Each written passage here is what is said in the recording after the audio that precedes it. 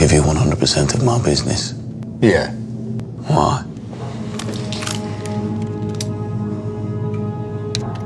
When I came in here, Mr. Solomons, I stopped to tie my shoelace. It was not a fact. And while I was doing it, I laid a hand grenade on one of your barrels, Mark 15, with wire trip.